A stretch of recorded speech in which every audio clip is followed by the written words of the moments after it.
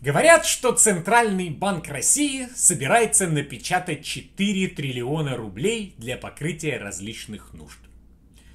И в этом проявляется главное отличие правительства России от ее собственных граждан. Вот ведь когда гражданину нужны деньги, он э, не может для покрытия различных нужд немножко себе напечатать. Он их должен заработать. И альтернативы этому нет.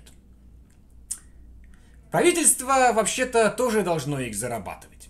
А оно должно дружить с соседями, чтобы им хотелось покупать нефть и газ.